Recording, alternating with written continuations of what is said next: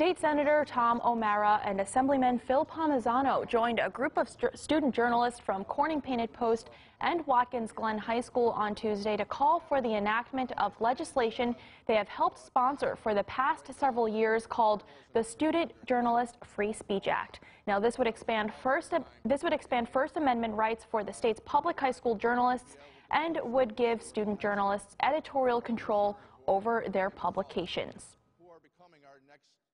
you know, a time right now where, where journalism is certainly under attack uh, from all around. Uh, it's a tumultuous time uh, in the industry.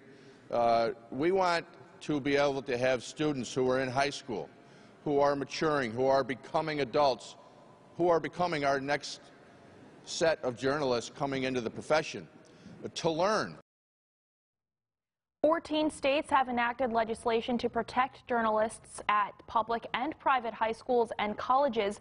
11 other states have legislation pending in 2019.